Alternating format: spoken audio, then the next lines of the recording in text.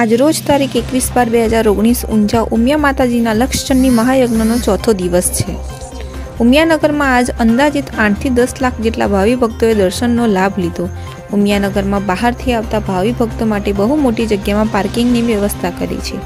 ઉમિયાનગરના આજુબાજુના વિસ્તારમાં લાંબી લાંબી કતારોમાં વાહનોની ટ્રાફિક જામ હોય છે. ઉમિયાનગરમાં પોલીસ બંદોબસ્ત ચોવીસ કલાક રાખવામાં આવે છે.